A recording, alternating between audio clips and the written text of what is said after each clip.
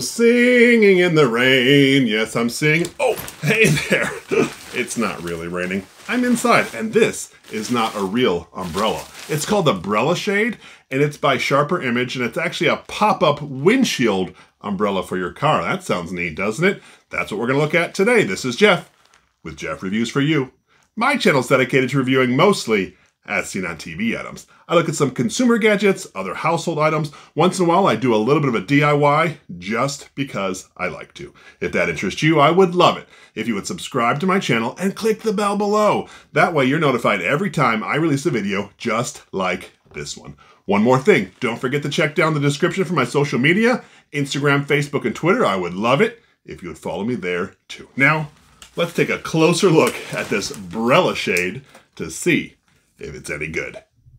Here's the Brella shade that I purchased for about 20 bucks from my local As Seen on TV retailer. Now, that being said, it was in the As Seen on TV aisle. It just doesn't have any As Seen on TV logo on it. But there's All Star Innovation. So, all right, let's open this up. Cut some tape already. There, oop, there's a plastic that it came out of, I guess. All right, so here's some directions and our Brella shade. That's pretty cool. Now, my guess is we're just going to open this up. Is there a button I push to uh, expand this? What? Hold on, let me read the directions and we'll open this up. I'm not going to say that I'm disappointed, but right away I'm disappointed. This is all manual. So what you're supposed to do first is you just open it up, undo the Velcro like I did, you pull this handle down, and then inside here, let's see if I can get a little light on this. All right. Inside here, you're supposed to just push and then you're going to expand it. What I'm going to do is I'll take it outside just so you can see what it looks like, but that's the process. All right, so let's do this. Pulling this out, opening it up, and there you have your complete window coverage. I will say, me turn this around. There is a spot right here in the front that you can open up, it's just Velcro, where you can fit your mirror through. Just be careful not to bend your wire here. To bring this all back together when we're done, push the button, bring it down, and then here's where you have to get creative and fold this back around again.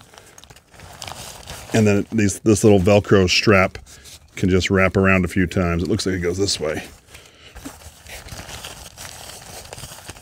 And they say you can just drop this in your glove box when you're done. Let's try it in the car.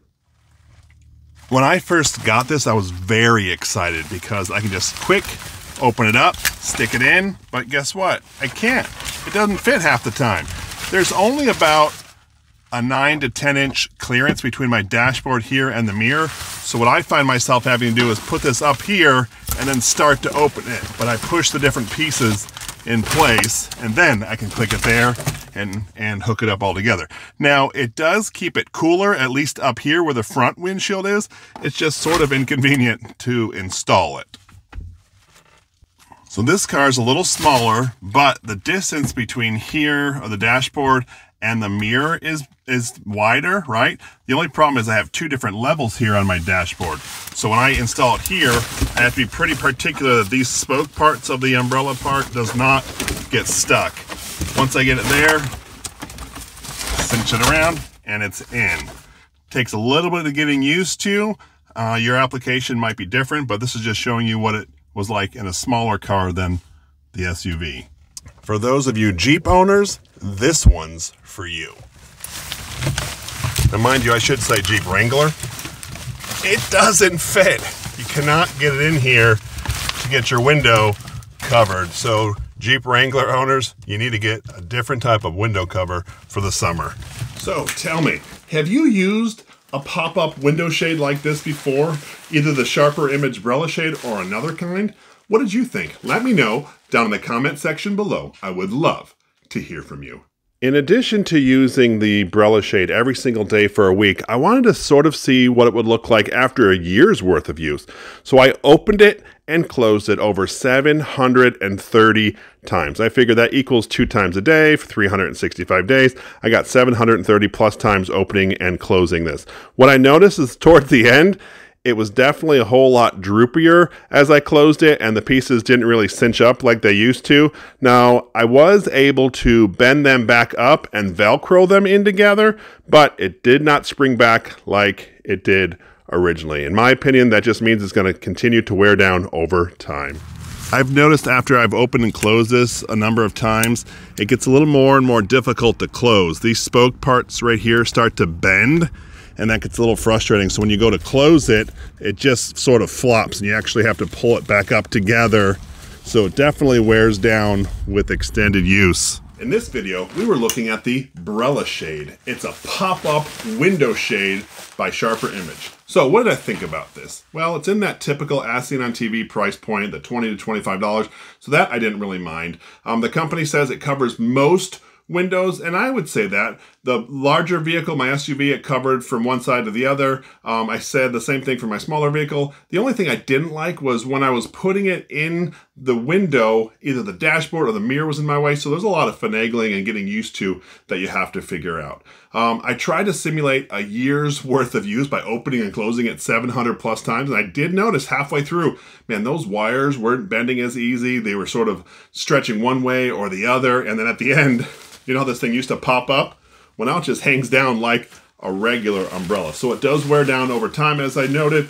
Um, but that being said, I'm still going to use it. I think this would be great for people who are like RVers in an RV park. You want something quick and easy to throw up in your RV window? Throw up the Brella shade. That's pretty sweet. I will keep it in my glove box and use it. Um, if this is something that interests you, I will leave a link down in the description. This is Jeff with Jeff Reviews for You. As always, thanks for stopping by, and I hope you have a great day. Let's prep the Brella shade for storage. So you remember how this just doesn't close in all the way? So I actually fold it up. You have to be really careful because these metal pieces bend very easily.